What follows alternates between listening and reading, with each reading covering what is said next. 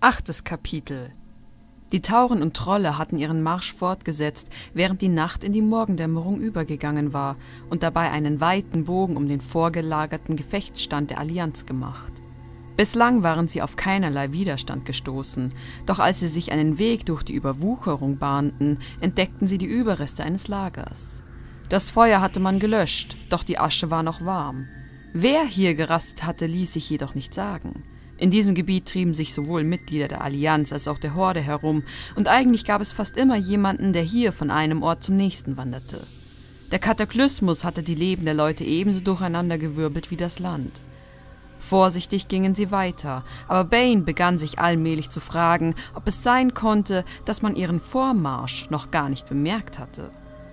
Kurz darauf stießen sie auf ein kleines Taurenheiligtum, und Bane ließ Halt machen.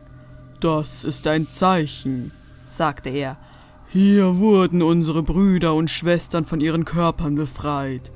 Hier werden wir Rast einlegen, um unsere Herzen auf die Schlacht und unsere Seelen auf die Möglichkeit des Todes vorzubereiten. Trollbrüder, ich weiß, das ist nicht euer Ritual, aber ihr könnt euch gerne zu uns setzen, um über das Leben nachzusinnen und über jene, die vor uns dahingeschieden sind. Außerdem, fügte er noch hinzu, wollen wir den Segen unserer Vorfahren erbitten. Mögen sie uns führen, auf dass wir tun, was für unser Volk das Richtige und Beste ist. Bane schlug jedoch nicht vor, dass seine Leute die Vorfahren um ihren Segen für die kommende Schlacht bitten sollten. Die alten Tauren wären mit so etwas gewiss nicht einverstanden gewesen. Er dachte an Kern Bluthof. Nein, der hätte einem solchen Vorhaben niemals seinen Segen gegeben. Eine Mischung aus wilder Kampfeslust und Beunruhigung herrschte über den Trollen und Tauren, als sie sich versammelten, und Bane, der seine Leute gut kannte, konnte ihren inneren Konflikt spüren. Einen Konflikt, der auch im Herzen des Anführers wütete. Nach ein paar Sekunden, in denen einige Gesänge anstimmten, andere sich zum Gebet hinknieten und wieder andere einfach nur respektvoll dastanden, wurde es Zeit, sich wieder auf den Weg zu machen. Der große Graben klaffte zu ihrer Linken, und der Pfad neigte sich ein wenig, bevor er sie in eine wellende Hügellandschaft führte. Sieht aus, als hätten wir Glück gehabt, meinte Vol'jin. Ich glaube nicht, dass irgendwelche Speer es noch geschafft haben, sie zu warnen, sagte Bane grimmig. Vol'jin blickte von seinem Raptor zu dem Tauren auf. Sie haben Camp Taurayo zerstört, Freund, erinnerte er ihn.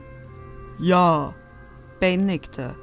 Sie haben ein militärisches Ziel ausgeschaltet, aber Ihr General hat sich geweigert, die Zivilisten niederzumetzeln. Er hätte jederzeit den Befehl geben können, sie alle abzuschlachten, doch er hat es nicht getan. Vol'jins Augen wurden schmal. Wirst du den Leuten der Allianz dieselbe Gnade erweisen? Ich glaube nicht, dass es in der Festung Zivilisten gibt, entgegnete Bane. Falls er Gefangene nehmen sollte, da war er sich sicher, würde Garrosh ihm ohnehin befehlen, sie hinzurichten. Aber das sprach er nicht laut aus. Ja, es war eine militärische Einrichtung, und dass der Kriegshäuptling sie zu ihrem ersten Ziel erklärt hatte, zeugte von guter taktischer Führung. Das Problem war nur, Garrosh war an der Feste nicht als einem militärischen Ziel interessiert. Der Allianz die Kontrolle über die Nordwacht zu entreißen, war für ihn weniger eine Strategie, sondern vielmehr ein Sprungbrett. Sein echtes Ziel war Terramor. Dort hatte die Allianz zahlreiche Soldaten und Seemänner stationiert, doch gab es hier auch ein Gasthaus und viele Händler und Familien, die in der Stadt lebten, ebenso wie die eine, die Bane Bluthuf stets gerecht und freundschaftlich behandelt hatte. Sie umrundeten eine Biegung des Weges, und als sich das Gelände vor ihnen öffnete, konnte der Taurenhäuptling in der Ferne grauen und weißen Stein sehen, die Türme der Nordwacht. Er hob eine Hand, woraufhin der Heereszug stehen blieb, um sich auf den Sturmangriff vorzubereiten, und fast gleichzeitig wurde die Stille des Brachlands von Gewehrfeuer zerrissen. Die Trolle und Tauren reagierten sofort, indem sie ihre eigenen Gewehre und Pfeile auf die Allianzsoldaten richteten, die aus der Richtung der Hügel angriffen. Wut wallte in Bane hoch. Er hätte damit rechnen müssen, doch er hatte sich von dem falschen Gefühl der Sicherheit einlullen lassen, und jetzt fielen seine Leute, wo sie gestanden hatten, und zahlten den Preis für seine Torheit. Vorwärts! schrie er, und seine vom Zorn noch verstärkte Stimme hallte weit hin. Schamanen, unterbrecht ihr Feuer! Die Schamanen gehorchten, während die übrigen Trolle und Tauren losstürmten, so schnell ihre Füße sie trugen. Einen Augenblick später wurden die Schützen der Allianz auch schon durch plötzlich heranpeitschende Windböen von den Füßen gerissen, und einige andere kreischten vor Schmerzen, als ihre Kleider in Flammen aufgingen. Der Versuch der Menschen, sich neu zu gruppieren, endete im völligen Durcheinander, denn inzwischen hatten die Krieger von Mulgor bereits die Straßen zur Festung erreicht und stürzten sich blutdürstig in die Schlacht. Die Tauren sind hier! Der Ruf wanderte die Reihen der Orks entlang, während sie von Norden aus auf die Festung der Allianz zumarschierten. Diesen Worten folgte lauter Jubel.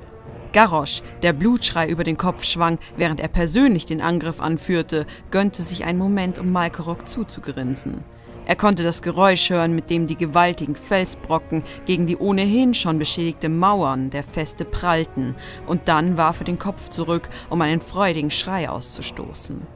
Er wünschte sich, diesen Plan schon früher umgesetzt zu haben. Der Kataklysmus hatte einige der Mauern der Burg zum Einsturz gebracht, und die Narren der Allianz hatten nicht einmal versucht, sie wieder aufzurichten. Jetzt würden sie es bitterlich bereuen und für dieses Versäumnis mit Blut bezahlen. Die Orks stürmten über die behelfsmäßigen Brücken aus Felsen und Planken. Eine Wache rannte ihnen entgegen, direkt auf Garrosch zu. Es war ein Mensch, stark und schnell und im Umgang mit seiner Waffe erfahren, aber gegen die Korkron, die einen Kreis um den Kriegshäuptling bildeten, hatte er keine Chance. Die Orks brüllten ihre Kriegsschreie hinaus, während sie sich auf ihn stürzten, mit ihren Schwertern auf ihn einhieben und mit den Streitkolben seinen von Metall umhüllten Körper zermalmten. Einer dieser Hiebe traf mit einem so lauten Knacken, dass es selbst über den Lärm der Trommeln, der Kämpfe und des Kanonenfeuers noch zu hören war. Danach sank die Wache zu Boden. Die Coacron und Garros stürmten über seinen gefallenen Körper hinweg, aber im Vorbeirennen gewährte der Kriegshäuptling dem Toten ein anerkennendes Nicken. Die Donnerschrei-Orks hatten ihnen sämtliche Schwachstellen der Feste aufgezählt. Garrosch wusste also ganz genau, wohin er seine Leute führen musste. Die erste Welle schlug sich ausgezeichnet und stürmte die Straßen zu den Hofbereichen hinauf, während der Kriegshäuptling auf eine erhöhte Position kletterte, um die Lage abzuschätzen. Links von ihm kamen die Schiffe der Blutelfen, Goblins und Verlassenen näher, genauso wie geplant. Trotz des Kanonendonners, der klang, als würde die Allianz ohne Unterlass feuern, hatten es mehrere Beiboote bereits an Land geschafft und ihre Insassen rannten nun auf ihre Feinde zu und streckten sie gnadenlos nieder. Zu seiner Rechten hämmerten die Trolle und Tauren derweil unermüdlich auf die Mauer ein, und während Garrosch noch hinüberblickte, brach eine von ihnen in sich zusammen, woraufhin eine Woge brauner, fellbedeckter und blauhäutiger Leiber durch die Bresche strömte. Unmittelbar vor ihm waren schließlich die Orks, seine Orks, sein Volk, die einzig wahren und ursprünglichen Mitglieder der Horde, und metzelten und schrien und lachten. Es sollte nicht mehr als eine Stunde dauern, die Schlacht zu entscheiden. Dann wären seine Krieger tief genug in die Feste vorgedrungen, dass keine schlaue List und keine verzweifelte Strategie von Admiral Aubrey die Angreifer noch zurückdrängen konnte. Doch Garish hatte nicht vor, so lange zu warten. Sein Blick huschte über das Kampfgeschehen hinweg. Der Großteil seiner Armee war weitergestürmt, nur ein paar Orks waren hier am Rande der Schlacht zurückgeblieben, um die Wachen auszuschalten, die noch versuchten, den Angreifern den Weg in die Festung zu versperren. Sie würden keine weiteren Brücken bauen müssen. Es war Zeit, den finalen Schlag anzubringen und diese Schlacht mit einem schnellen, entschlossenen Sieg zu beenden. Ein paar Fuß unter ihm kämpfte Malkorok gerade mit drei Wachen, Zwei Menschen, einer von ihnen war ein Mann, der andere eine Frau, sowie einem Zwerg.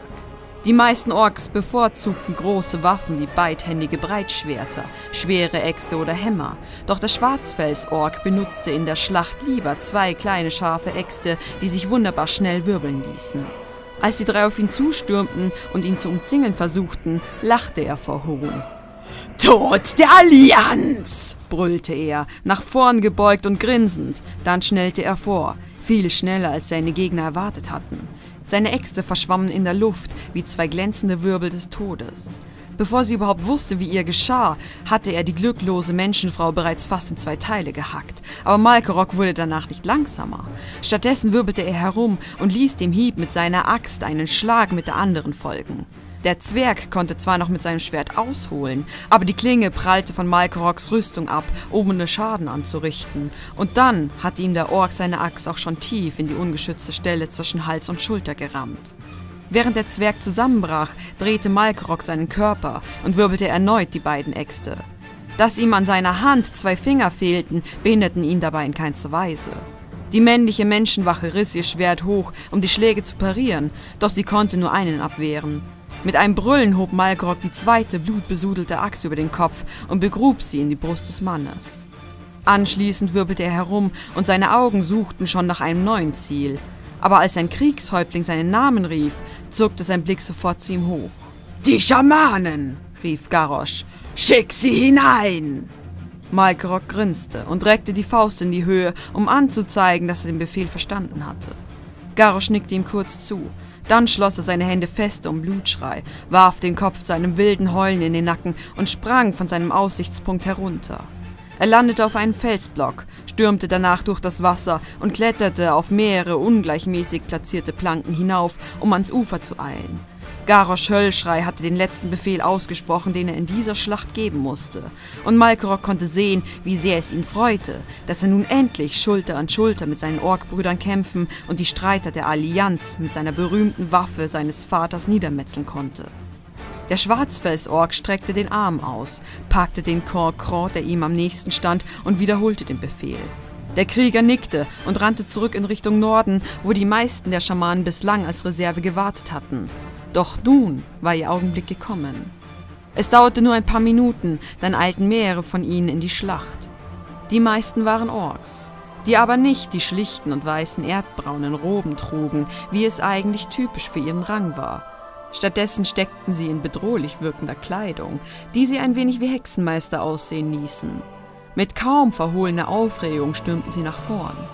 Die Krieger, die die Schamanen begleiteten, bahnten ihnen einen Weg durch die Gruppen hektisch miteinander kämpfender Allianz- und Hordestreiter, wobei sie ihre Schutzbefohlenen mit den schweren Panzerrüstungen vor dem Feind abschirmten. Die Schamanen machten keinerlei Anstalten, ins Kampfgetümmel einzugreifen.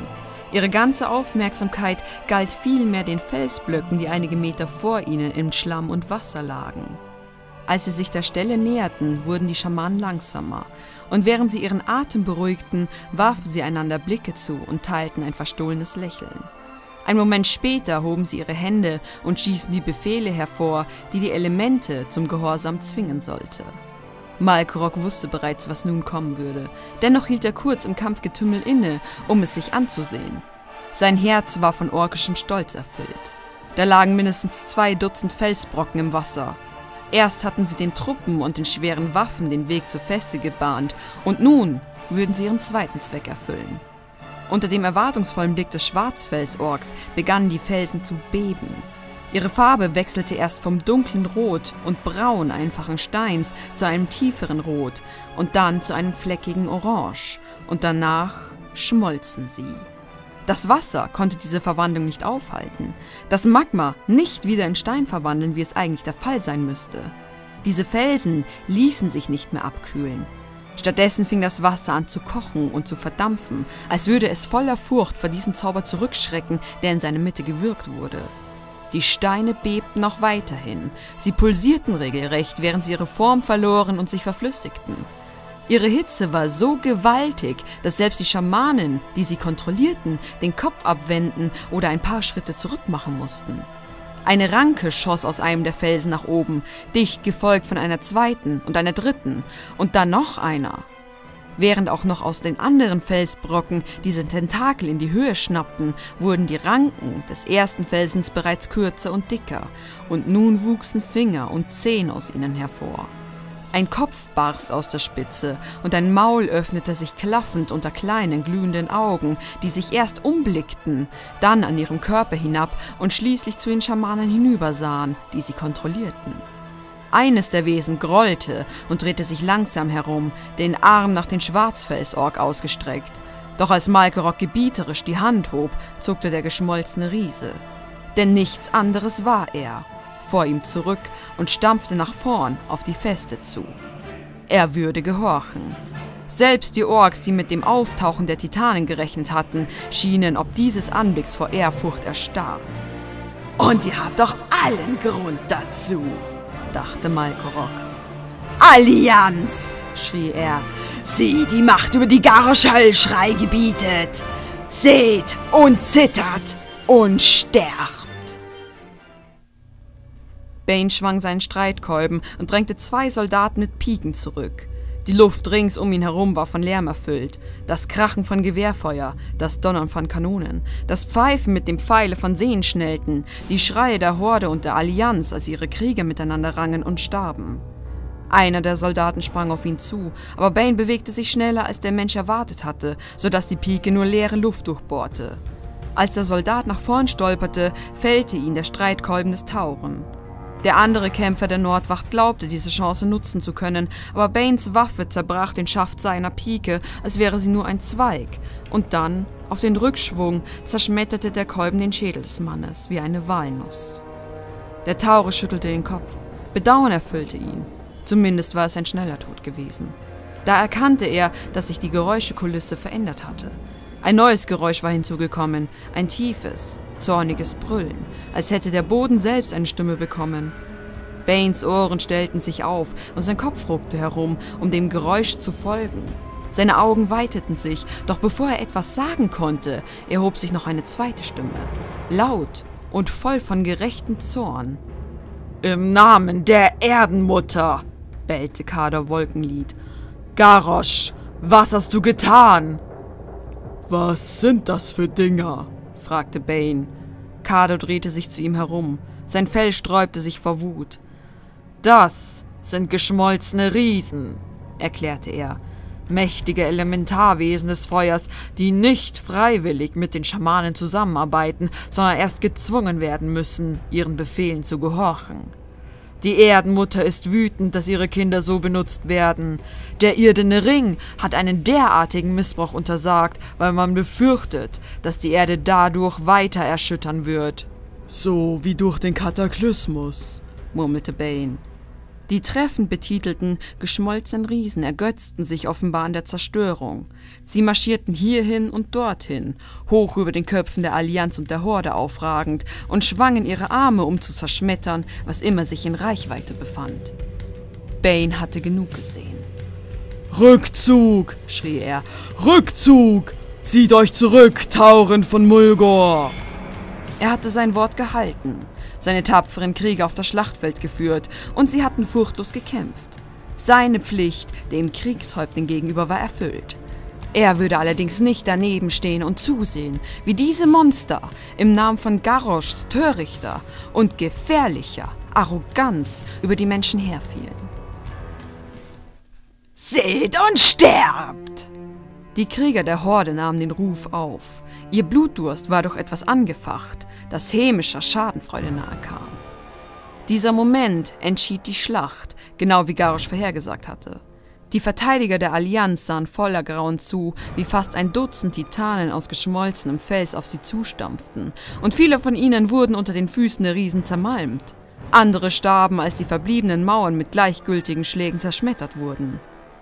Haltet eure Positionen, Soldaten der Allianz!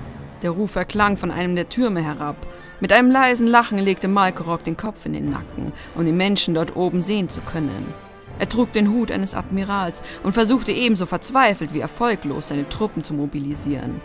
Es war ein närrischer Versuch, dennoch konnte der Schwarzfelsorg nicht anders, als diesem zum Tode verurteilten Menschen Respekt zu zollen.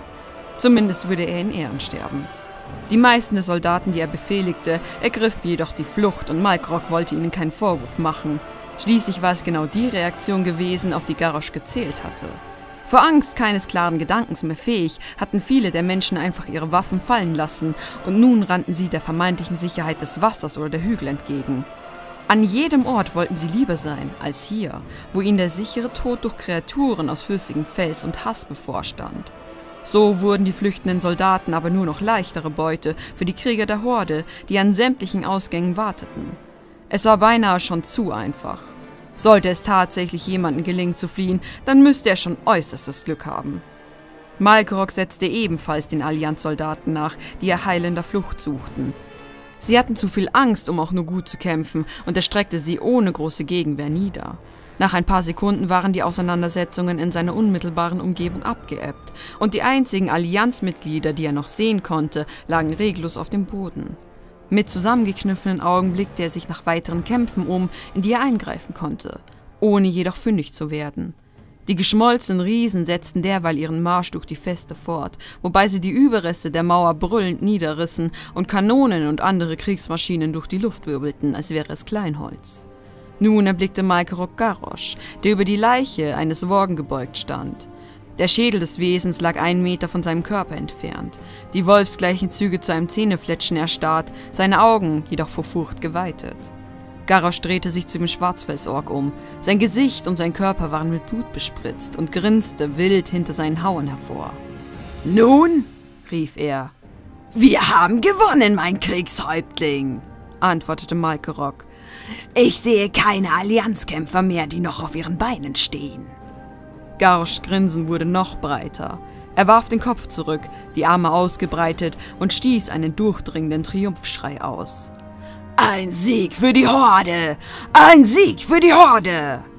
Schnell fanden sich andere, die den Ruf wiederholten, und kurz darauf breitete er sich unter den Truppen wie ein Lauffeuer aus.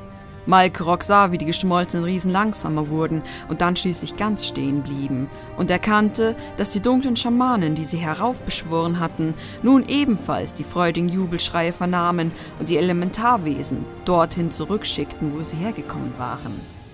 Das hieß, Sie versuchten es zumindest. Es schien nämlich, als wollten die geschmolzenen Riesen ihre Gestalt nicht wieder aufgeben. Sie wandten sich langsam herum und ihre kleinen Köpfe mit den winzigen roten Augen schwenkten hin und her, während sie nach ihren Meistern suchten. Dann setzten sie sich wieder in Bewegung. Malkorok und Garrosch blickten sich ebenfalls nach den schwarz gekleideten Gestalten um, die mit einer an Panik grenzenden Vehemenz ihre Gesten in der Luft zeichneten. Kurze Zeit standen sich Elementarwesen und Schamanen in einem Kampf des Willens gegenüber. Anschließend öffneten die geschmolzenen Riesen im Gleichklang ihre Mäuler und stießen einen furchterregenden Schrei aus, in dem sich Zorn und Verzweiflung vermengten. Die Erde selbst antwortete auf diesen Hilferuf. Malkorok spürte, wie der Boden unter seinen Füßen erbebte. Zunächst kaum merklich, dann aber immer heftiger. Alarmiert blickte er sich um, doch in der Nähe gab es keinen Ort, wo er Schutz suchen konnte. Da waren nur Leichen und Waffen und Trümmer, wo einst die Festungsmauern gestanden hatten. Warnende Schreie hallten in der Luft wieder, als einige der Krieger das Gleichgewicht verloren und hart stürzten. Sie klammerten sich am Boden fest, obwohl er nun ihr Feind war. Wie aus dem Nichts ballten sich am Himmel dunkle Wolken zusammen und Blitze zuckten, sofort gefolgt von einem beinahe ohrenbetäubenden Donnergrollen. Die Münder der geschmolzenen Riesen öffneten sich weiter und dann noch weiter, während ihre Schädel und Schultern allmählich verschmolzen und sich auflösten. Die Elementarwesen verloren ihre feste Form. Körper und Glieder flossen zu einer Masse zusammen, dann schwand auch ihre Farbe. Sie wurden dunkelrot und schließlich wieder braun. Einen weiteren Moment später schrumpften sie zu ihrer ursprünglichen Gestalt zusammen. Nun waren sie nur noch Felsbrocken. Sonst nichts. Ein letztes Mal bäumte sich der Boden noch auf und bebte. Dann kam aber auch er wieder zur Ruhe. Die folgende Stille fühlte sich an, als wären Malkoroks Gehörgänge mit Baumwolle gefüllt.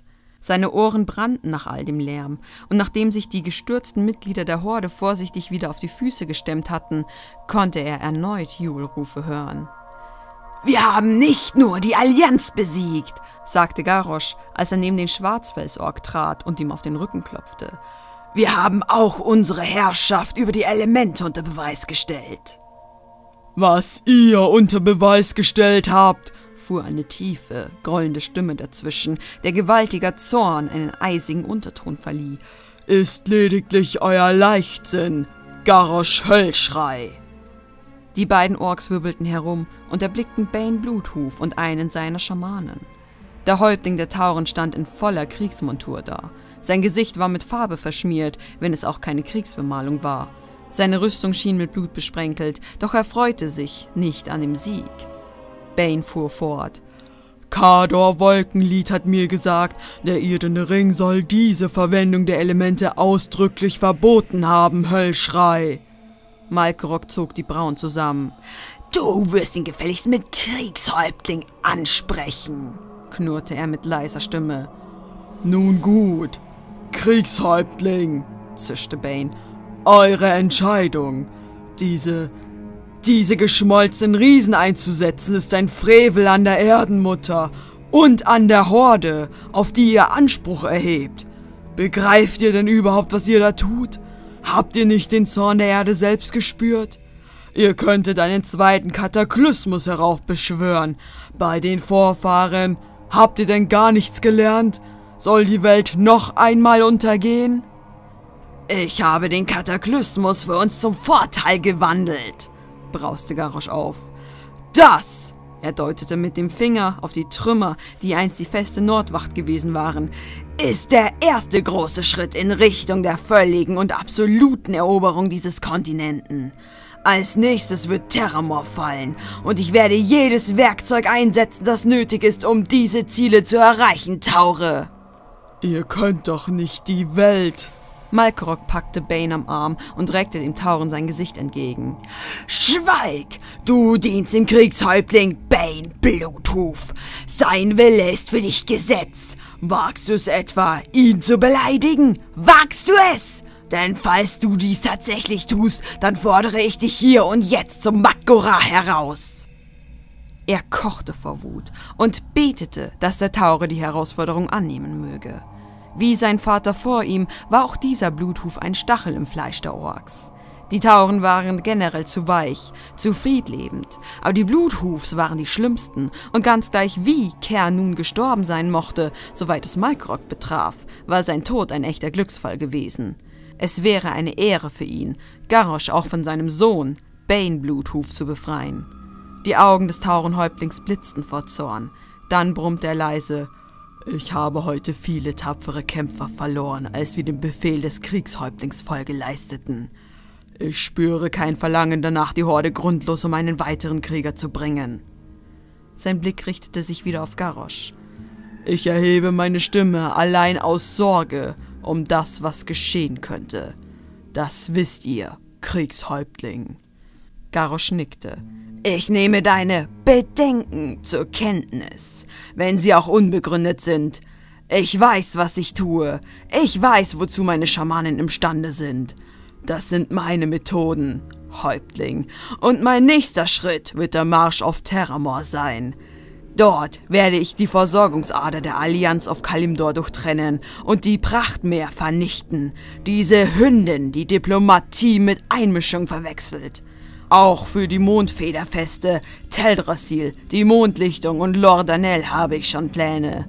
Sie werden alle fallen. Dann wirst auch du es sehen. Dann wirst du erkennen, wie die Dinge wirklich stehen. Er lachte.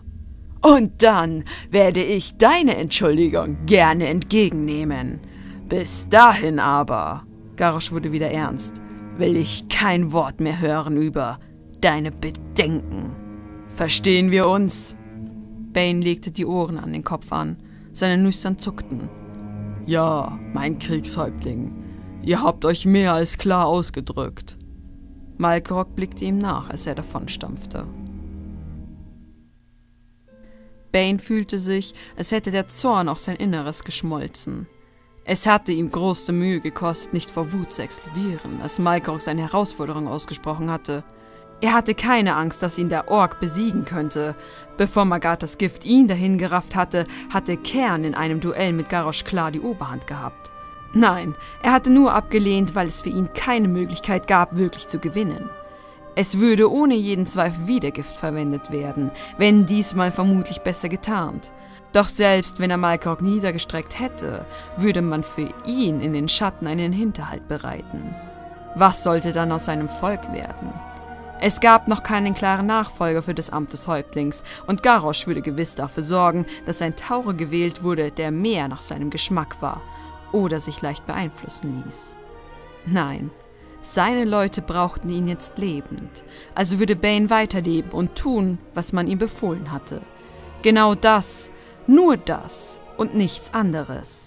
Wenn dann der Tag kam, an dem sein glorreicher Plan Garrosh das tätowierte Genick brach, würden er, Vol'jin und die anderen besonneneren Führer bereit sein, die Scherben einzusammeln und die Horde zu beschützen. Oder was Garrosh dann noch von ihr übrig gelassen hatte. Doch Bane Bluthuf war nicht hilflos. Der Gedanke, der sich während des Marsches in Richtung Nordwacht in seinem Kopf herauskristallisiert hatte, war inzwischen noch konkreter geworden. Und jetzt, da er gesehen hatte, wie Garrosh gedankenlos, ohne Achtung und Respekt die Elemente missbraucht hatte, war auch sein Kopf von der Richtigkeit dieser Idee überzeugt, die seinem Herzen entsprungen war. Er blieb nicht, um den Siegesfeierlichkeiten beizuwohnen und überließ seine Truppen Kados fähigen Händen. Stattdessen zog er sich zu seinem Reisetippi zurück, um diesen Plan auszuführen. Bevor er die Zeltklappe anhob, blickte er sich noch einmal sorgfältig um, konnte aber keine Spur lauschender Ohren ausmachen. Anschließend wandte er sich dem jungen Krieger zu, der vor dem Tippi Wache stand. Schick Perit Sturmhuf her. Ich habe eine wichtige Aufgabe für ihn.